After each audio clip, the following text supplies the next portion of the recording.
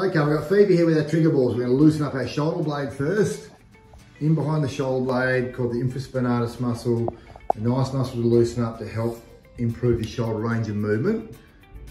Now you can do that leaning into it, pressure, find the trigger point and then move it around.